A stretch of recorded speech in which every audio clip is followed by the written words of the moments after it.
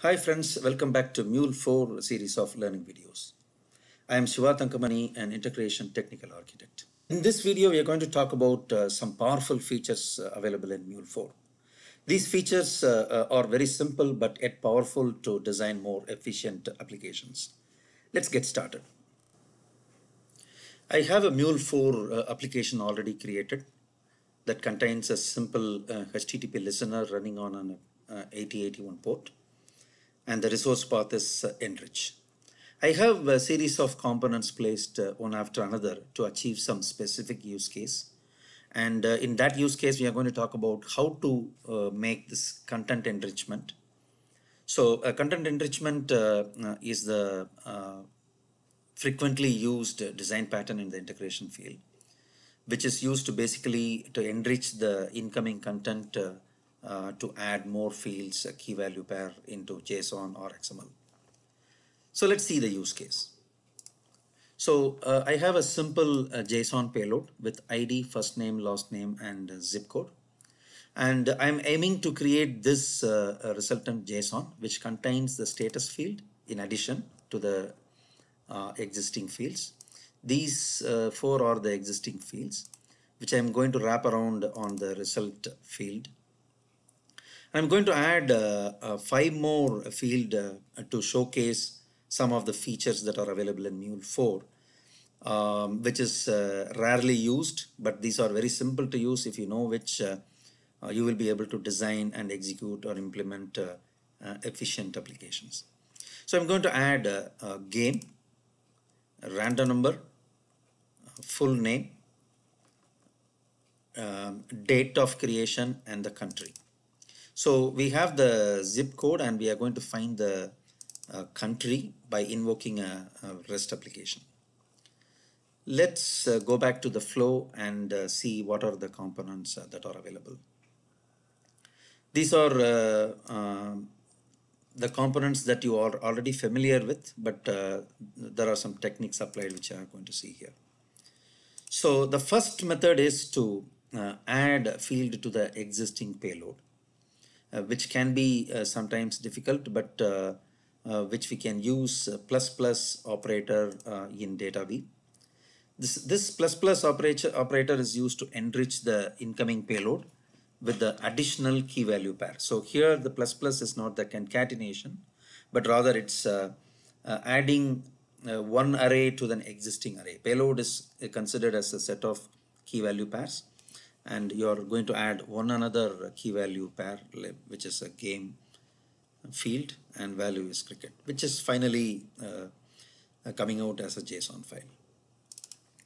So the next one is uh, again the data uh, uh, DataWeave transformation where uh, I have used the similar technique of using plus plus operator but I have added uh, some import statements uh, which are available in DataWeave 2 which you can uh, use it very efficiently because in Mule 3 uh, in order to use the Java uh, functions uh, you need to create a global function and then you need to refer back in the DataWeave which very difficult to make the reference and then understand what we are doing.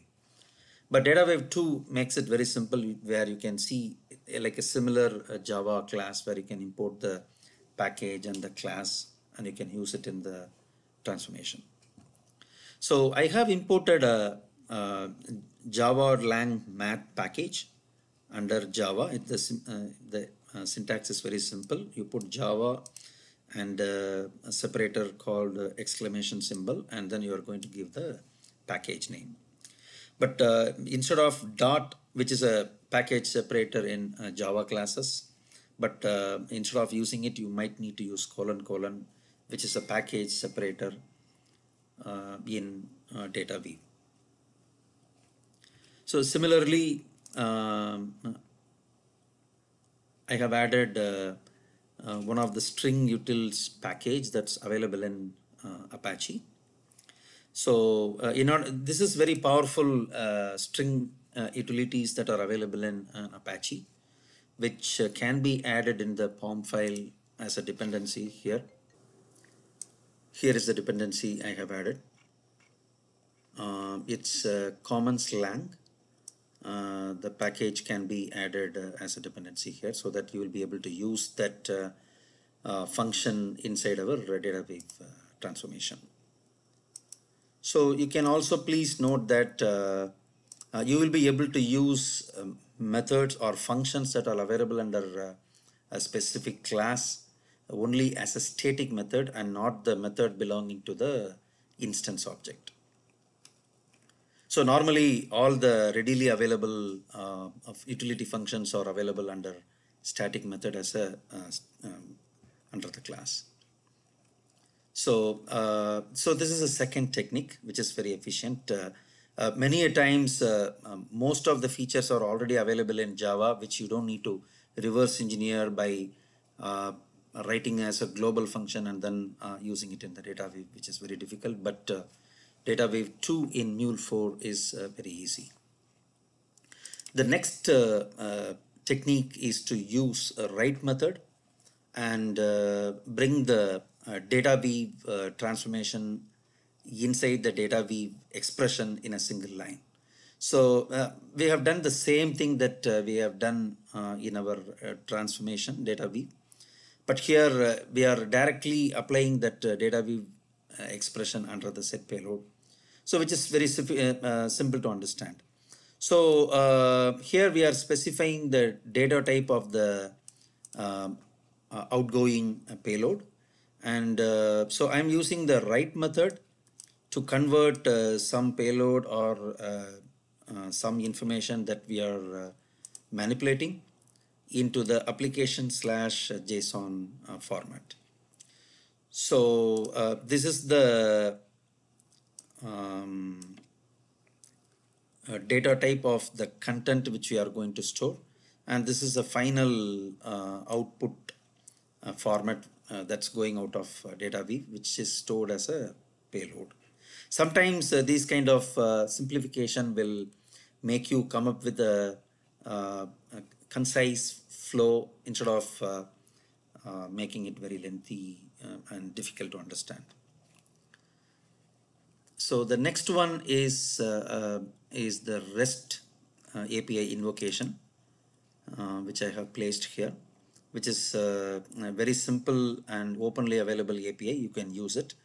This is api.zippopotam.us, uh, which is basically find the uh, details of the country when zip code is given. So I have taken this for uh, example in order to convert that zip code into the country code. Um, so let's see what the uh, REST API does.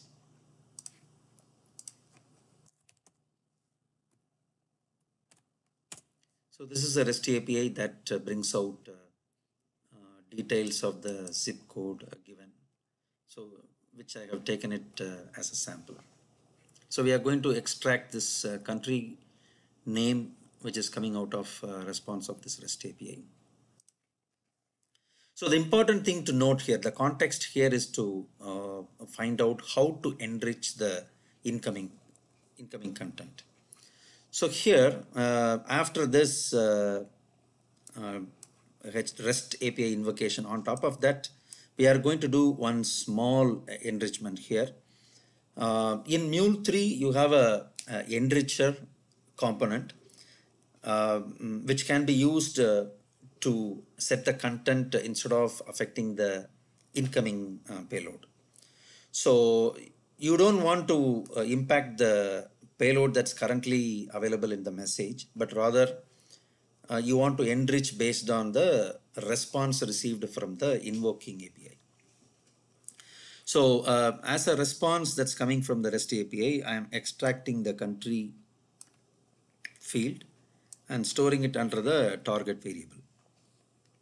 The beauty of Mule 4 is almost all the components uh, have uh, this target variable and target value so you can enrich uh, the uh, content quickly instead of impacting the incoming payload.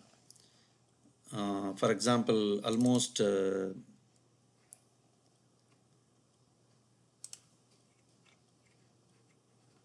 almost all components will have some additional information which you normally don't see in Mule 3, which I have done that here. So target value is the value which you are uh, intending to store and target variable is the flow variable where you want to store the data. So once we take this uh, country and uh, our uh, next component is a set payload which we have used a similar technique that we used earlier. So uh, we want to utilize the um, flow variable and form the payload and enrich the payload content and convert finally into the uh, Java format, which is uh, nothing but the uh, key value pairs of uh, uh, incoming payload. So finally, we are going to have one more uh, opportunity to use different way and enrich the content.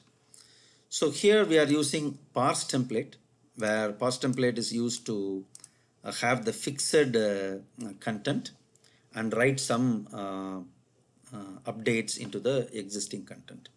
So I have the success.json uh, file as a JSON uh, format here under the resource file. You can see here.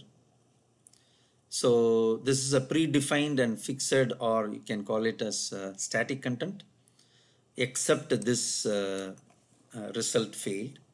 So I have a, a static content uh, with a status value success and the result is the header name for the payload that we are going to set.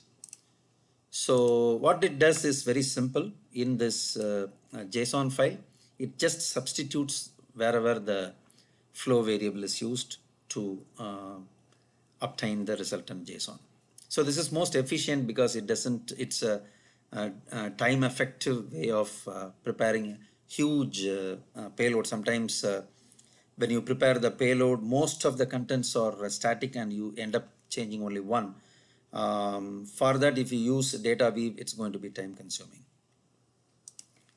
So you can simply give the location of the uh, uh, JSON file or you can directly place the content here, which is even more uh, efficient.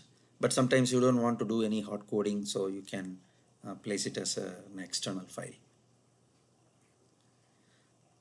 So uh, these are the techniques uh, uh, that are often uh, ignored and then we often end up doing uh, Mule 3 way of doing things which you, you, need to change and then explore Mule 4 on all the available features and then use it accordingly.